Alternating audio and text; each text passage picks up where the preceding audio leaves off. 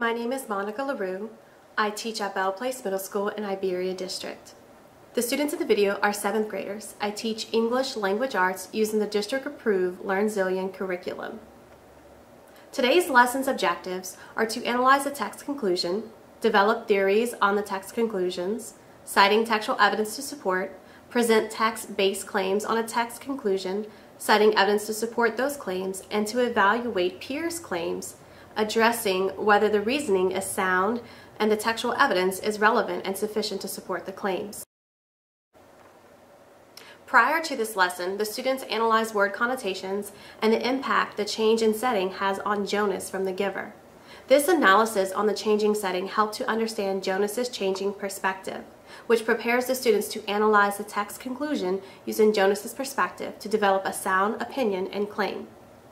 The overall goals of this LearnZillion unit, The Giver, is that by the end of this unit, the students will read dystopian literature and related informational texts to understand how individual perspectives are shaped by knowledge and memory and to determine whether perfection is worth the sacrifice.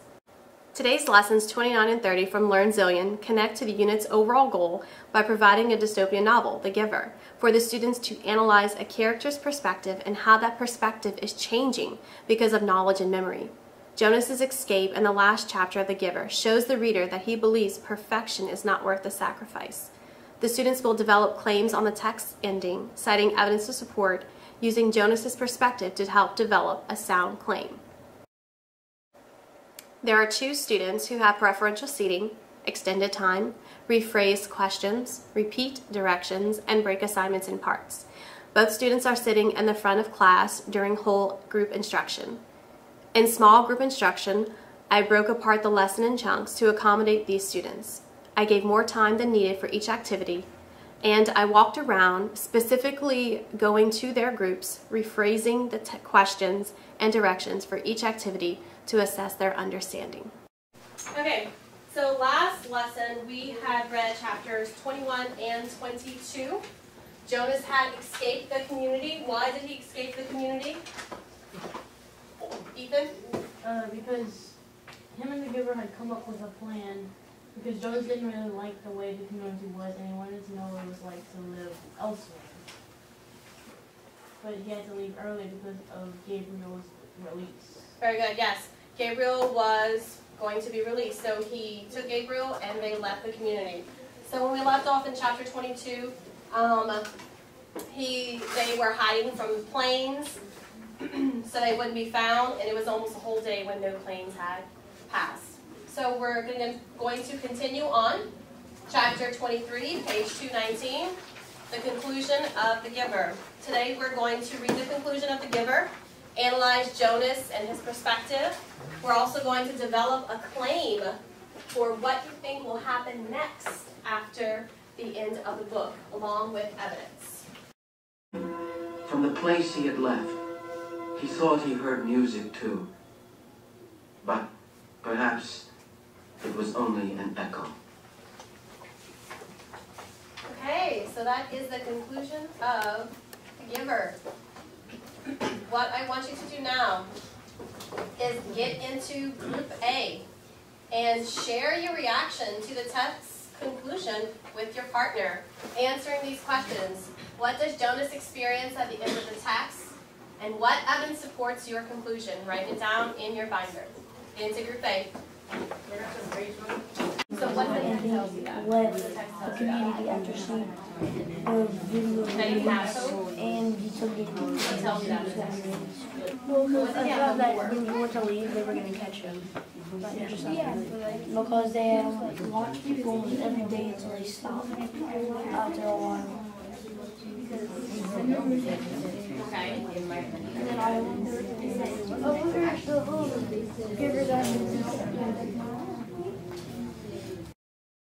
How do earlier scenes in the novel make this moment ambiguous? Someone tell me.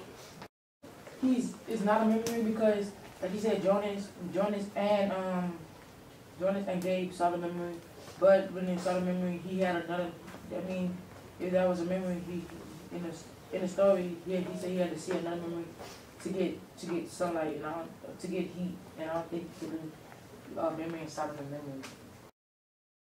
Oh, I disagree with Melvin because he said that Jonas in-game experience, but it says that there was no response from the child who had once been so curious and alert. So J- Gabe did not respond to this note, only Jonas did. Okay, Melvin, what you have to say about that?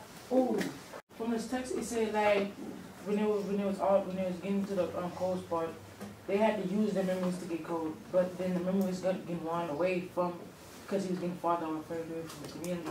Well, they said that him and Gabe was getting cold, and he had to use memories to get him and Gabe to get warmer again. Okay, very good. Okay, so we do have a few different opinions about this meaning and how it is ambiguous. There could be different meanings, and we see how different people feel about that. Now, what I want you to do is answer question four on your split page notes on page 76. So make a guess of what happens to Jonas and the community at the end of the text. Make sure you cite evidence that supports that guess. Where does it say that? Okay, so he's talking about the music that he hears, okay? So you think, maybe because it was, I don't know if it was right? So do you think it made it to the community? Yeah, probably because there was like scratches. Okay. Yeah, like he probably thought it was like he was dreaming, like, oh, but he was feeling it. Okay. Very good. Next, next, we're going to put all those theories into place, into action. We're going to develop a, a claim about the text conclusion. You're going to state what happens at the end of the text, and you're going to find evidence that proves it. And then we will do a gallery walk to um, evaluate those claims to see if they're correct or incorrect, if you agree with it or not. So what I want you to do now is get into group B and the materials manager from each group grab your materials.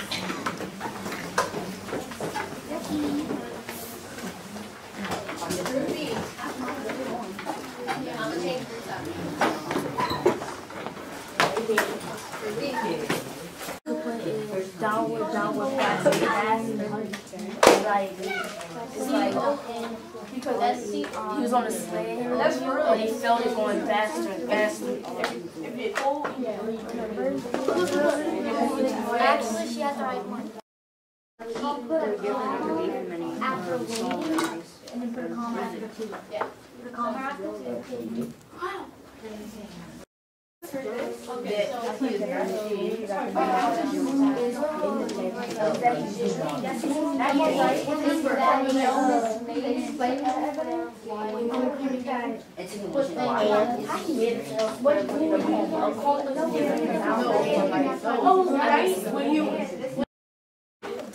page 77, it asks what the claim is, then it asks what the evidence, and does the evidence support that claim? So, we're going to conduct a gallery walk. You're going to move in a clockwise rotation. And when you get to the new group's claim, you're going to discuss it as a group and then write it down on your paper. The main thing is, is to find that claim and to discuss with your group if that evidence supports that claim and why or why not it supports it. Dude, he, they, the giver didn't ever, he had, the giver asked him if he in Jolene for, as a good reason. It says that he had. Okay, the first, the first They never, never, never told him. How do you a coma and then hear? And then they say he found it. If they found it.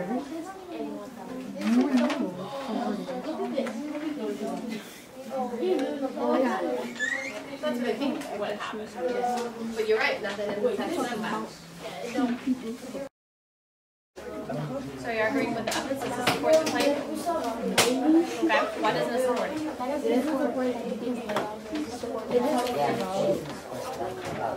how the theory states that he gets elsewhere. It doesn't talk about the community. you know, like he gets he gets closer elsewhere, but he's from. I mean, this one does. There was no response. So why did Lois Lowry choose to make the ending of the text ambiguous? Why do you think? And how does this impact the meaning you are taking from the novel? I'm gonna give you five minutes. I'm, I'm trying to find out if it's to, to be continued in any other book. That's what I'm trying to That's what I'm, that's what I'm If, if if it is to, to be continued, I'm gonna read that book. Everybody blue, that's their son. Whatever they're called. So bright in their Um, like, yeah, you were like, like him living elsewhere. He's like made it elsewhere.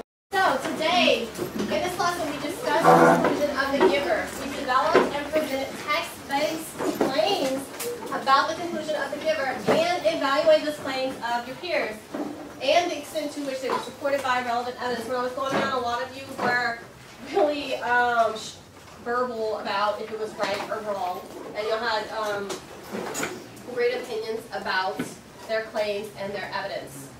For um, the end of the class, you're going to complete an exit ticket on listed paper.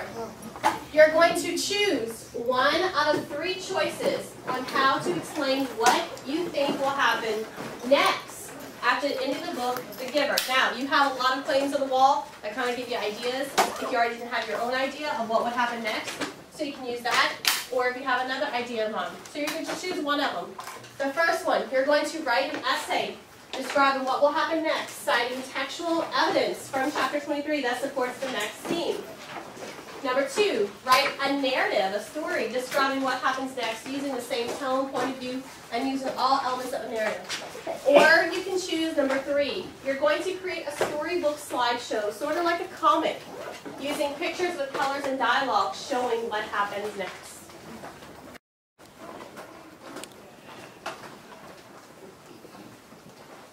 Tomorrow, we're going to read a short dystopian novel called Harrison Bergeron, and we will be using that story to compare and contrast it to the Giver dystopian novel. The lesson objectives on analyzing a text conclusion, developing a claim, citing evidence, and evaluating peers' claims were met. For each activity, I went to each group and assessed their understanding of the assignment. I made sure to ask each student his or her thoughts and understanding on that particular assignment. Not only did I assess in small group setting, I assessed in large group setting, allowing the students to debate their reasons for their claims and evidence. The claims and evidence were assessed during a gallery walk.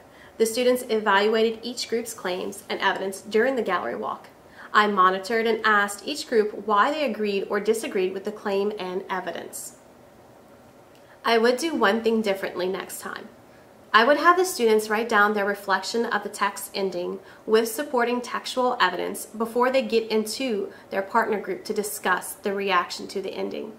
I found the students were still processing and did not have enough time to fully respond to the text ending. I believe this independent reflection will give the students more to discuss in the partner group.